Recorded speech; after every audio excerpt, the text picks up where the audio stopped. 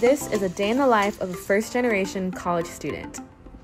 It may look typical, but as a first gen student, I have to work extra hard to navigate higher education, the hidden curriculum, and find a home away from home on the 40 acres.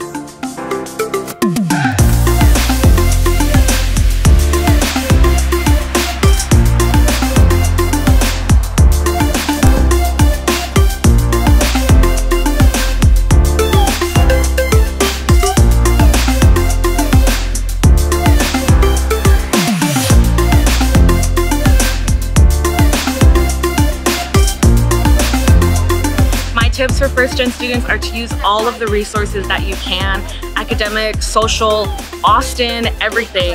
And if there isn't a resource for you, know that you have the opportunity to make one, to create your own space on campus that works for you.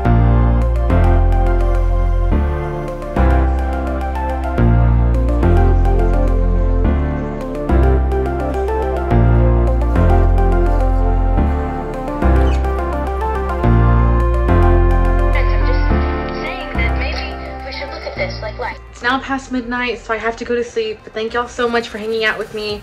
And hook 'em!